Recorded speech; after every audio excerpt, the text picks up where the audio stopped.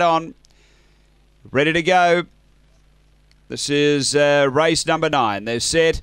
Racing, and there's uh, speed out deep. It's looking to work to the lead. Sutton Steel got over, so Sutton Steel leads them up early. Mr. RJ two lengths away, then Miss Diablo, Wayne Zero next to Sukhoi and Scottish Thistle. They swing to the back, and the front runner here is Sutton Steel, a length and a half. Mr. RJ two away, Scottish Thistle, a length back. Wayne Zero two away, Miss Diablo and Sukhoi back at the end. Uh, Sutton Steel out by two and a half now on Mr. RJ. Scottish Thistle railing through makes ground. Then Wayne Zero they turn for home. Sutton Steel led, running on Scottish Thistle. Sutton Steel in front. Sutton Steel beat Scottish Thistle. Third looks to be Miss Diablo from Wayne Zero. Uh, then Sukhoi and Mr. RJ back at the end. Uh, no time on the semaphore here.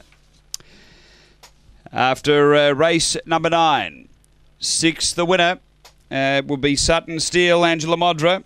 A Modra J. Williams, a black dog, January 2014. Dinah Lachlan Asterisk, number six first. Uh, seven runs second, Scottish Thistle, Michael Stewart.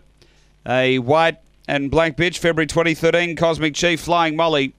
And third going to one, and uh, that is uh, Miss Diablo.